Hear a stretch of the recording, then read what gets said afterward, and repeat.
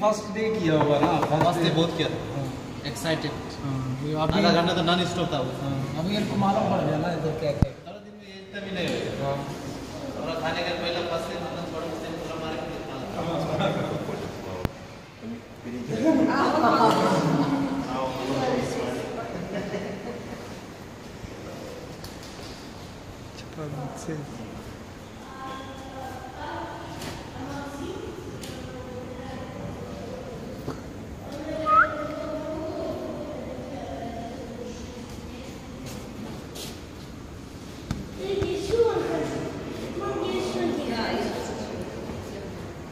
I don't.